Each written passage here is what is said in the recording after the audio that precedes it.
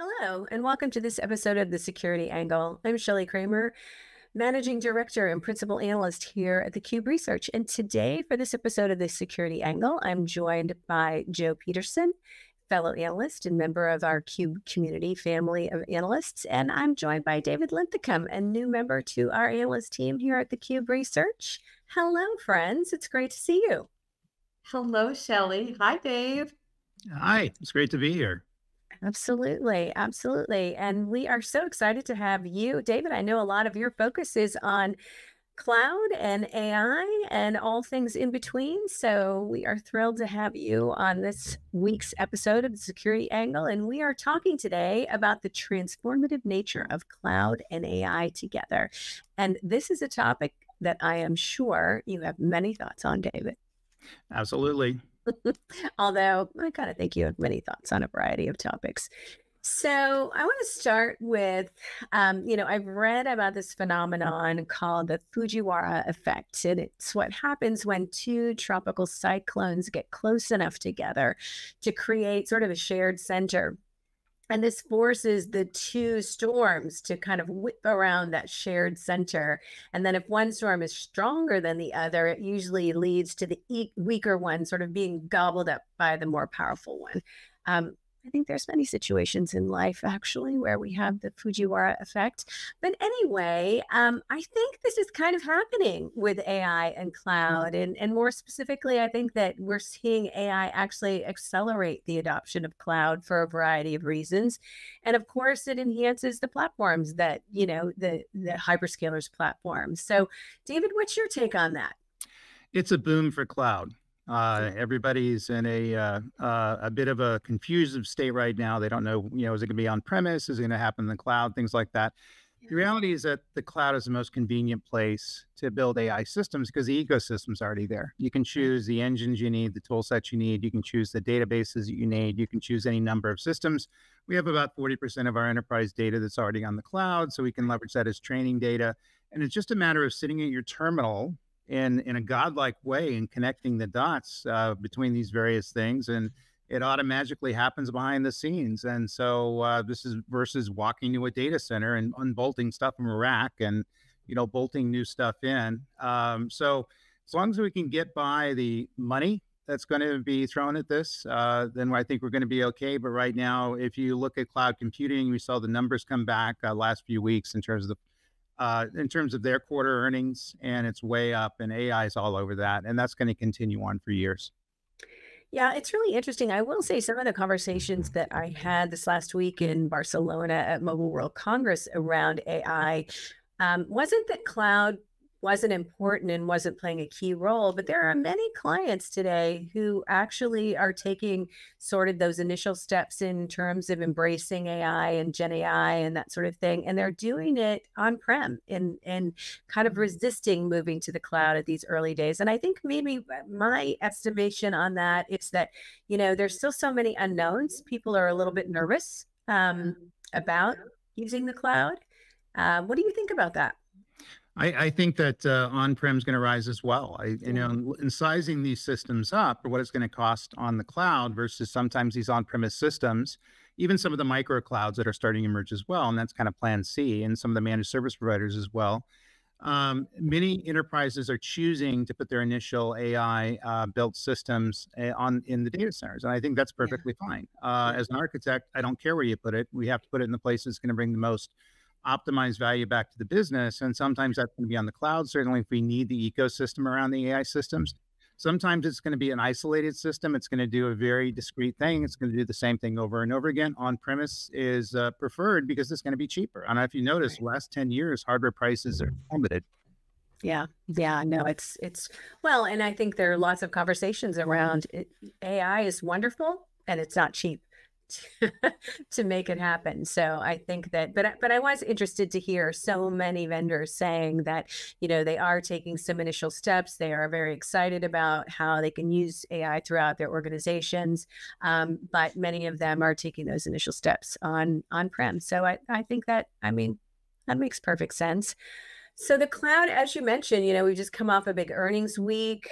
Um, you know, the global cloud computing market continues to boom. Let's see, it's expected to reach reach about a six hundred and eighty million dollar market. Um, uh, in US dollars. That's a 30% jump in the space of about two years. Again, to your point, that we're seeing lots and lots of cloud adoption. Um, so, do you think that, you know, one of the things that I think that we're seeing here is, you know, there's a there's a sort of build versus buy mentality at play. And to a certain extent, some of the functionality I think that people want to be able to use, some of the AI powered functionality already exists in some of the hyperscaler environments. And so, do you think that some of this is why we're seeing a, a increase in cloud? Are we do you think that's attractive to people that oh, if we want to use virtual agents and chatbots and things like that, we can use the AWS ecosystem. We can use Azure. We have some things that are built in. So you think that's part of this as well? That's the most compelling reason to use cloud for AI. If you Absolutely. think about it, because all the tools are there. Uh, it's, you know, you measure the number of services and cloud providers in the thousands, not the hundreds anymore. And in terms of AI services, go to the console and type in AI systems, and you'll have hundreds of different uh, options for different tool sets they provide, training data, data hygiene tools, things like that that are needed for AI. And so we don't have to learn and integrate all these various disparate tools. They're there already for us to leverage in any way we want. And so that that's why the cloud is is chosen. It's the most yeah. convenient way to do it. Uh, you can certainly do it on premise and sometimes cheaper. But if people are trying to get something built fast and quick, and they're trying to get all the tool sets there, they're trying to get the ecosystems along with it they're going to try to build it on a single public cloud provider. And I can't blame them because yeah. you're getting into another set of complexity. Yeah, no, I agree. It makes perfect sense. Dave, um, oh, go ahead. No, no, no. I was go right ahead. Oh, okay. Um, so Dave, Wiz in their state of AI in the cloud report came out and for this year, and it showed that more than 70% of the organizations that they surveyed we're looking at managed AI, um, and the adoption rate rivaled that of managed Kubernetes. And I guess that's a surprise, but not a surprise. Why do you think that the managed AI rate was so high? Yeah, it's making making it somebody else's problem, which and I would and I would make uh, I would make the same sort of argument. I mean, the great idea behind managed databases and managed Kubernetes and managed cloud native systems and managed AI is you put it in the hands of people who do it, you know, many times for different clients. And so therefore I don't have to hire the very expensive data scientists, the very expensive AI engineers and uh, and and people like myself to to would knit it all together. Uh, I just say, hey, make this so, and they go ahead and build the AI system that they need, and they also maintain it, which is the harder thing to do because you got to remember you're moving a lot of data, you're doing a lot of data hygiene exercises, all kinds of things that are very problematic in operations. And I think that uh, that's uh, that's why we're seeing managed services and to including in AI as a popular as a popular option. You know what? As a as a business decision maker, I have to say it makes perfect sense to me. I mean, I don't want to get necessarily in the weeds. When I'm making a buying decision like this, you know, I know what kind of resources I have internally. I know how hard it is to hire highly skilled talent. I know we're at the beginning stages. We're dipping our toe here. We're experimenting in some use cases, um, that sort of thing. I mean, I want somebody to take me by the hand and do that heavy lifting all day long. And I think it makes perfect sense that that we're seeing a rise in this um, because this is kind of uncharted territory. And if I can work alongside a vendor partner who's going to help make this process easy, this is a no brainer for me.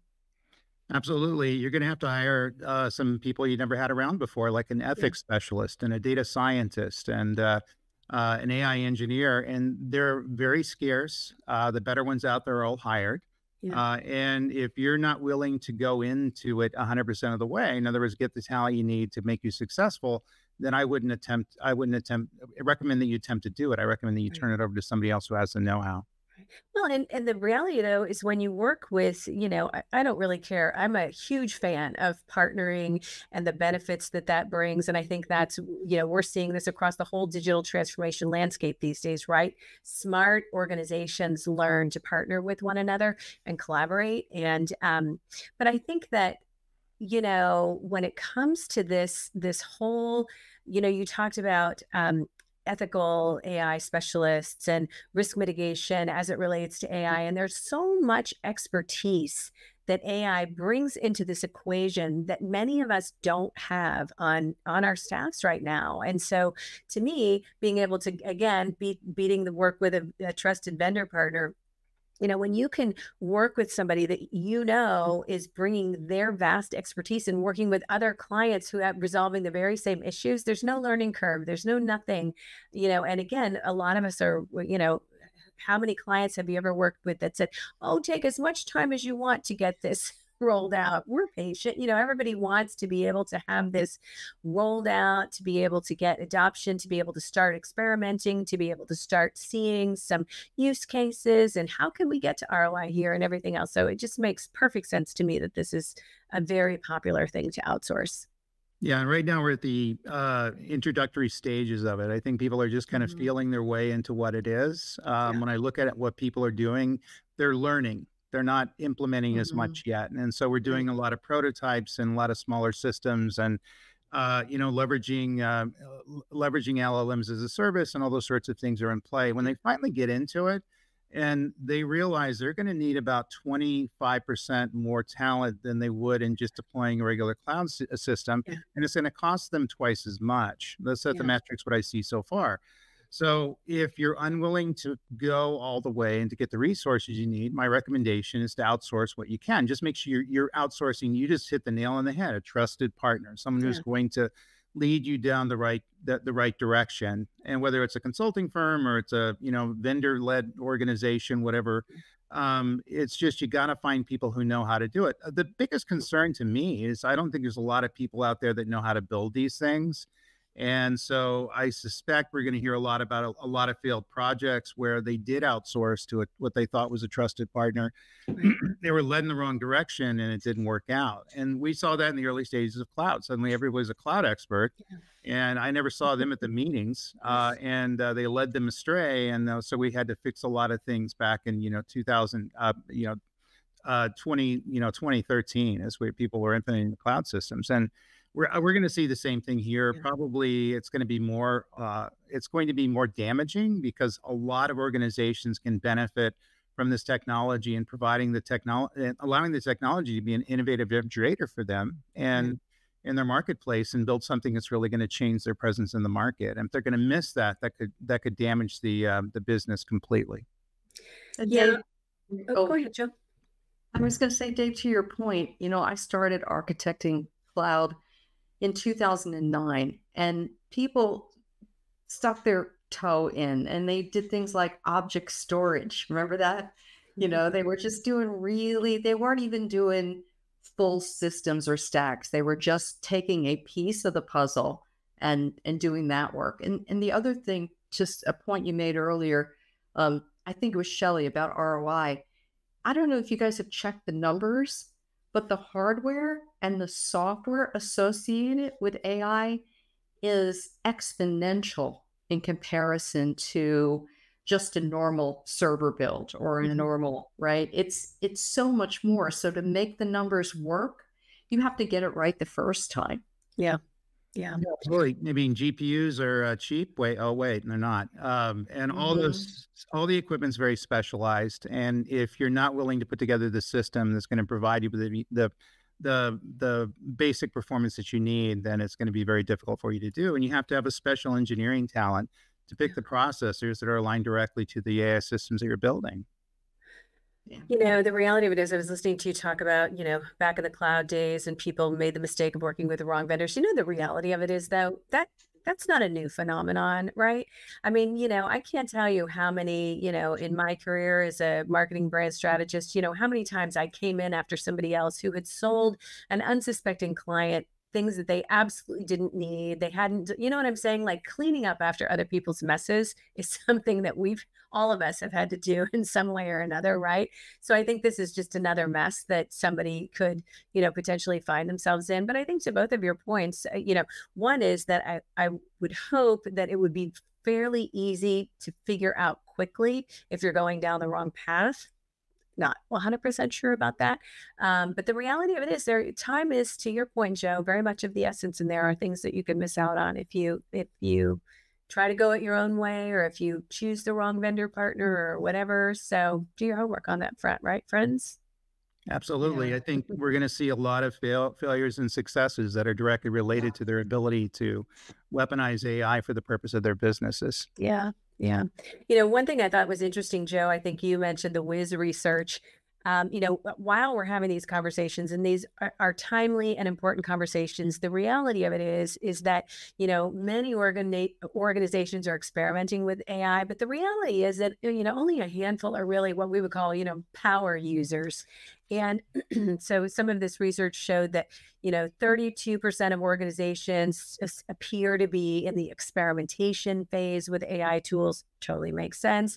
Deploying fewer than 10 instances of AI services in their cloud environments. Um, and only about 10% of those have moved beyond experimentation and they're deploying 50 or more instances in their environment. So, you know, we're, we're at those early sort of dipping your toe in the water stage um, for people. So, it, you know, it'll really be interesting to watch this play out. That's for sure. Yeah.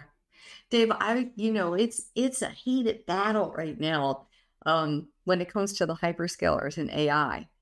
And yeah, everybody's throwing out news as fast as they can. Seems like it's like, whoo, something else came out today. Okay, so it was interesting in that Wiz report. Back to that, um, Azure AI, which includes Azure Open AI, is leading the way with 39% of the organizations using the ser- service. And right, so if you looked at a four month slice of utilization in 23 the number of deployments rose 228%. Simple question Why so many Azure fans? That's an easy one. Sorry. Go ahead. That's all right. I think that Microsoft uh, saw the generative AI mm. uh, uh, bubble inflating before everybody else, and yeah. so they were the first to the party. They bought OpenAI, spent you know put a billion dollars uh, where their mouth was, more many billions of dollars where their mouth was and i think that's paying dividends to them right now. Yeah. so eventually the the the industry will normalize. They're all moving at a pretty good pace and you know what's true now in 2024 won't be true in 2025 and 2026 it's just going to be a big battle royale. It's going to be very much like the cloud in 2010 yeah. Well and the reality of it is uh, you know ai is not new for hyperscalers right? I mean, mm-hmm. many of them have been using AI. We've been using AI, all of that sort of thing. But what Microsoft did is they capitalized on an important moment in time. And I think, and I think what it has resulted in is that when people think about who's doing amazing things with AI, Microsoft comes to mind because of the the Open AI Alliance. And yeah, you know, they were just really smart there you get you got to hand it to them. Uh, in other words, they mm-hmm. saw the value of generative AI early on. I think yeah. you got to remember it's only hasn't been around for a while as far as yeah. far as a hype driven concept. We've known yeah. about it for a while, and certainly dealing with AI and machine learning for many years now. And we we understand the ability how to operationalize it and how to add it to the business. Right. But this new dimension brought a whole new group of uh, of uh, interested parties into this world and trying to get their generative AI systems up and running. And those are the people who are spending the money right now. Um, and many people I talked to, they thought AI was invented two years ago and chat with Chat GPT. And so I, yeah. and it's like, no, it's been around since the 50s. Oh, yeah. Uh, um, and so with that kind of mentality, people are just grabbing a market that really isn't educated yet. Yeah, mm-hmm. absolutely. Well, you know, it isn't educated and everybody, you know, feels the pressure. I have to be doing that. I don't even know what it is, but I have to be doing it because if I'm not, eh, you know, I mean, I think there very much is a, a FOMO factor at play here. You know, David, you mentioned money. Let's talk about money for a minute. Now, you know, without question, the hyperscalers have already spent hundreds of billions on AI innovation. Um, but you know, the the financial pressure that comes with the demand for AI is putting massive pressure on cloud infrastructure itself. You know, uh, so the the capital exp- expenditures needed to expand and retrofit data centers and deploy GPUs and TPUs and all of that. You know, so are, uh, uh, have we already begun seeing the impact of some of that investment in earnings reports? Where do you think? Um, where do you think we're seeing that, or are we seeing that yet? Yeah, I don't think we've seen it yet. I, I don't think they've uh, spent the money, the big tranche of money that they need to build GPU based and HPC based systems to support AI. And so they're just doing things on regular CPUs and some of the GPU instances that they have. So we're running this stuff on traditional infrastructure at the end of the day. They're not buying GPU based systems to do that. And I think in many instances, that's going to be perfectly fine for the use cases that we're seeing now. But moving forward, they're going to have to spend a tremendous amount of money and putting very expensive, very power hungry um, processors into the various data centers to support the loads they're looking to support. And that's going to be interesting because number one, they have a traditional business that they need to support, the people who are leveraging uh, cloud based storage and cloud based compute and things like that. And that's what people are running their businesses on these days. Are they going to divert resources from that to focus on the AI space? And is there going to be a downside that's going to happen on the traditional business side as they push more investment into the AI side? Those are the questions I've been getting a lot of recently. Yeah. They they see the investments being made and they say, you know, Dave, we, we put all we're all in on AWS, or all in on Azure, or all in on Google, or all in on all three and we're concerned about them not building or maintaining the core systems that we need to run our business because guess what? AI is five years away from us. We don't really care about it. We right. just care about running traditional infrastructure. So that's a bit of a balancing act, I think, that the uh, the cloud providers are going to have to figure out how to do. Yeah, it, it is definitely an interesting challenge for them. Um, so, what about security? Jo and I talk a lot about AI and security, uh, and I know you think about it and talk about it a lot as well. So, you know, in December of 2023, Amazon, Google, Microsoft, OpenAI joined forces to uh, with the Cloud Security Alliance on an AI safety initiative, and the whole goal was to create an AI framework that could be released within about a year. I've got two questions for you both here. So, are AI systems subject to, to novel security vulnerabilities that need to be considered alongside standard cybersecurity threats? Uh, personally, I believe the answer to that is yes. Mm-hmm. Um, Jo, I'm going to, you know, you've been quiet. So talk to us a little bit about that and your yeah. thoughts. Yeah, they are. I mean, yeah. If you look at, if you look at the traditional tools in the market, first of all, they're text based, many of them. They're not object based. Yeah. And AI introduces the element of object into the scenario. So what we're starting to see is some of the tools that exist on the market being retrofitted to facilitate AI data. For example, DLP, you and I've talked about that. Sure. DLP is a tool that there are five or six vendors that have gone and retrofitted their tooling, right? And you're going to see more of that. The second thing to consider is, and I think it's a bigger problem, um, we as companies, you know, organizations can put out initiatives and got guardrails to their employees about acceptable behavior. But how do we police that behavior? And that becomes a problem, mm-hmm. um, especially when we think about how people use and do their work. So we've got private AI and we've got public AI. And how do we put in those guardrails and make them effective when when those systems start to combine. And that's what I think about. Yeah. There's a whole new realm of uh, security vulnerabilities that come up with AI. And the big thing would be poisoning of the models uh, that people have a tendency not to think about. So, in other words, we have the ability to uh, uh deal with the authentication of the systems, but people who have access to the models can do a lot of very creative things, you know, like make them pay out uh, you know millions of dollars to their uh, their their Swift bank account uh, on Tuesdays, uh, and those and those things are very difficult to detect. So we're gonna have to put yeah. parameters around that. Jo hit the nail on the head. We got to put education in place so people are using these things correctly, um, and also remember we got lots of data flying around. So, excuse me, how are we going to deal with the data? and securing it make sure it's secured in flight and make sure it's at rest and I, I don't think people really get that now they they assume that the different uh, security data standards are going to transfer to the AI systems. Sometimes that's not going to be the case. And the way you're protecting these models has to be the same in terms of the way you're protecting data. Also, remember that the data can change state within AI systems. In other words, we can take anonymized data and mm-hmm. load it into an LLM. It can figure out who, who that data belongs to. And suddenly you have mm-hmm. PII information, and suddenly you're violating the law. And so, lots of different dimensions. And I have these conversations all the time. I don't think people really kind of understand the different dimensions. Even people who are, um, you know, security experts haven't really understood the changes that are needed that are going to you know come up and around also weaponizing ai uh, so they're attacking systems We're already seen that already and the ability to and the good that's the bad news the good news is we can weaponize uh, security systems using ai based systems to become more proactive and ability to spot attacks and so uh, the fun begins uh, here we go spy versus spy you know what it was always a game of whack-a-mole right this whole cybersecurity business but now it's like whack a mole on steroids. They've got their AI, we've got our AI. We're duking it out. Uh, very interesting times for sure. It's going to be it. It's going to be the next few years is going to be incredibly interesting uh, because we're going to see some amazing breaches and attacks uh, mm-hmm. that are going to be caused by weaponizing AI-based systems, and we're going to see a lot of industries and a lot of enterprises that are caught uh, that are caught unaware because they don't have these security parameters in place. And when they do the post mortem on why the attack occurred, and they stole millions of dollars or did a ransomware attack or things like that, and they're going to say, "Well, listen, look, we didn't understand the new vulnerabilities of these systems. We built them because we felt we needed to build them."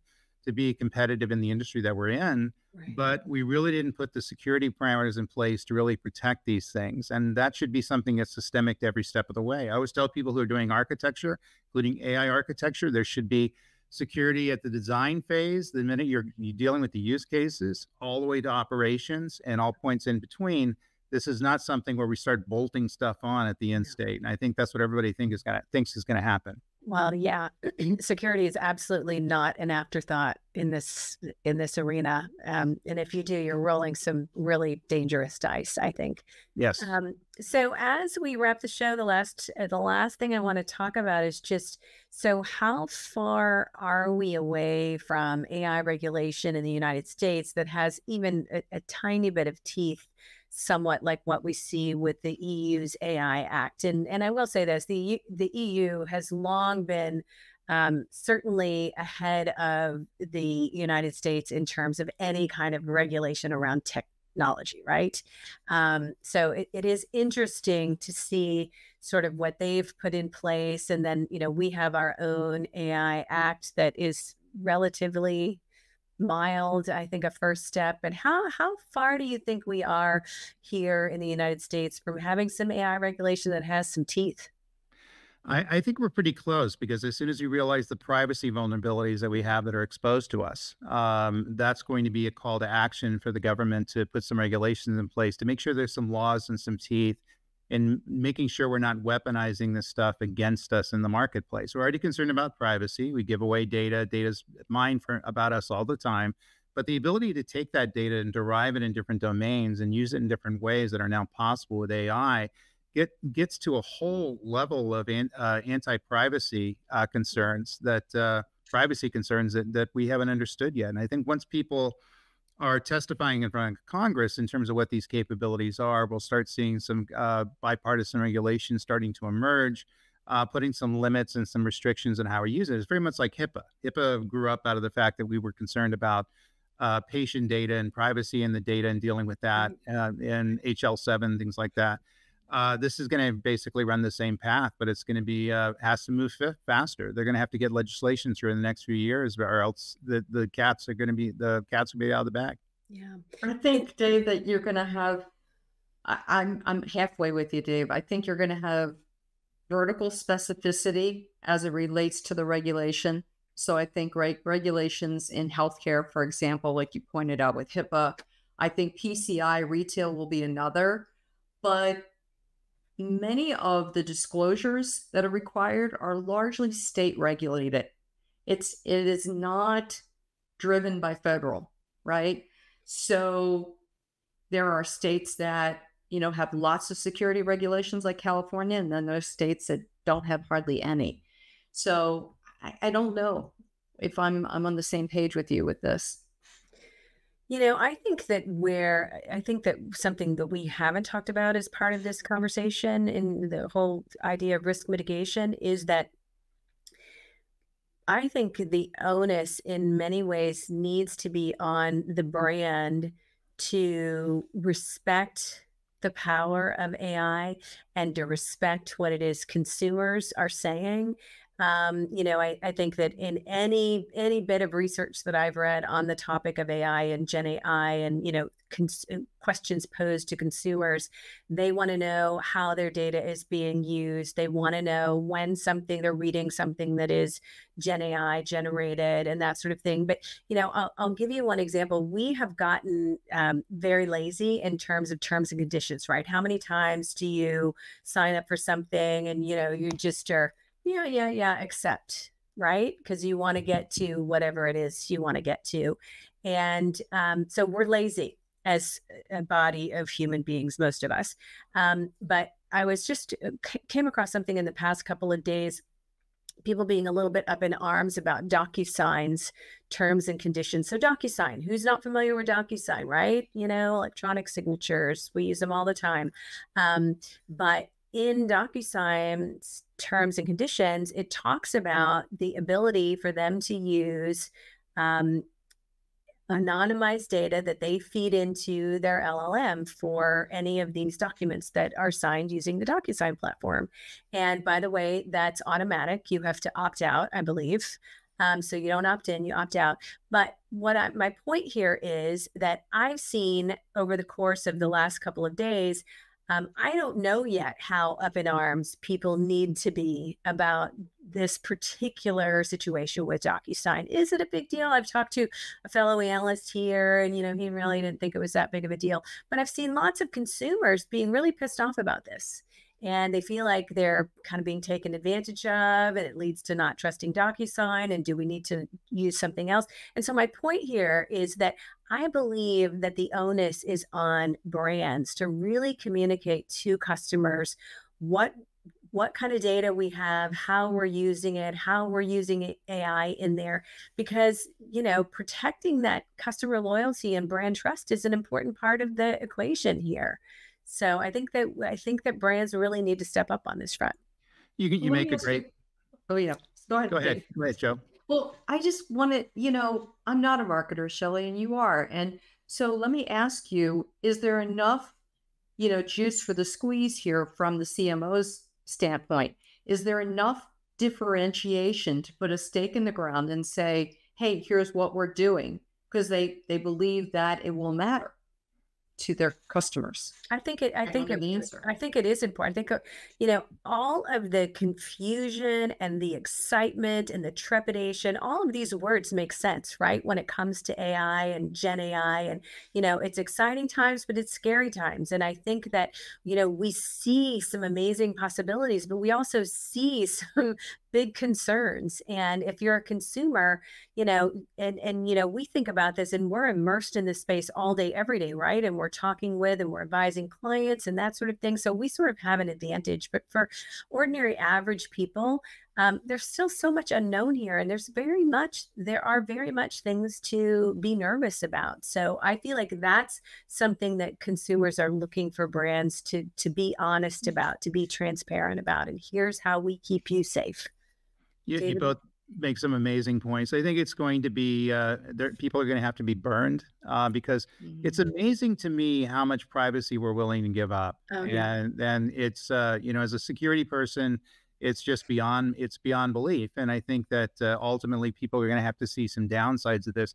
Got to remember there is no anonymized data anymore with with AI. I can take data and I can backfill it and yeah. suddenly I can put uh, attributes to it, make it PI information. I can uh, assign my name to a contract that I signed, and it can go into some big database, which is going to be useful to marketers or people who are, you know, are, uh, are even the FBI subpoenaing that data for whatever reason. All kinds of things are going to happen where we're going to find we're giving away a lot more than we think. And I think once people realize that, that's when the pitchforks and the torches come out. Yeah, I agree. I agree it is it's interesting times for sure. You know, I was telling uh, I was having this conversation when I was in Barcelona this last week, and you know, there's some really cool things about being older. and and what I mean is that, you know, all three of us are old enough that we lived through the dawn of the internet, right? And so Mhm. we know what it's like to live a completely analog life. And we also remember advancements like, oh my God, a fax machine. you know, I don't have to like go across town or FedEx something to you overnight, David, or whatever, you know, and and and then, you know, the internet. And I, I'll never forget, you know, when all of a sudden now we all have computers on our desks and we're communicating by email. And, you know, I remember running into somebody proudly saying, I don't use email. That's stupid. I'm never going to use email. I've got a secretary for that, you know, or whatever. You know, people being proud about it, not embracing the internet and all that. But, you know, it, but we've seen mobile devices, right? I mean, do you remember the first mobile devices? And they were car phones because the only place Mhm. you used them was in your car, and we called Mhm. them a car phone for that Mhm. reason. Um, but it's so interesting to have lived through all of this evolution of technology and to now be here. You know, we're not really at the cusp, we're kind of well in, you know, beginning the journey but seeing another um, another faction of technology that's really going to change everything in some pretty amazing ways It is, and I think we have to prepare ourselves for that. In other words, we know what the change can bring. It can bring lots of good things and lots of value to our lives, but lots of bad things as well. Uh, you know, too much screen time on the phone and things like that that we do that we do now is a bad habit. So we're going to have to put everything in perspective and start putting logical uh, logical uh, uh, gateways around this stuff. So how we're using the technology and make sure it's good ethical use. It's used for a good purpose. We're doing good with it and we're enhancing our business. We're trying to create innovative differentiators in the marketplace. All those sorts of things are possible now, but also all the bad things are possible. And I think both things are going to occur. We're going to see some amazing successes in the next few years, but some amazing tragical things. yeah i agree as well and you know what it is a very interesting time to be alive i'll say that well Jo and david i think that uh, we have reached the end of our program today and this i knew this was going to be a fascinating conversation. I know it's the first of many that we will be having on this topic but thanks so much for joining me on the SecurityANGLE today and we will see you again next time